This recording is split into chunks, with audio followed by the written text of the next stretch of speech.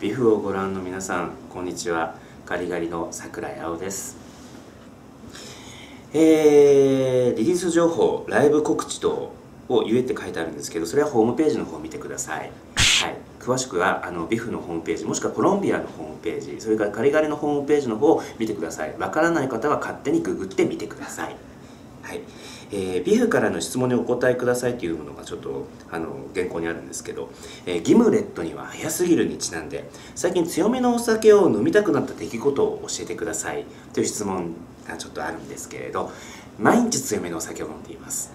特にあの何かがあったから強いお酒を飲むなんていうバカらしいことはしておりません。毎日二日酔いです。はい。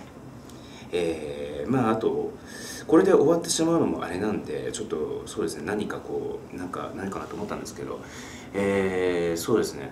CD はちゃんと買ってください。違法ダウンロードはやめてくださいね。本当ですよ。あとライブに来てください、えー、ライブもですねあのちょっとビフさんの方であの僕のインタビューがですね独占インタビューが載ってると思うんですけれど、えー、それにもあの多分いいこと言ってるんですけど僕たちの愛はお金で買えます。お金で買えるんです。お金です。桜井青でした。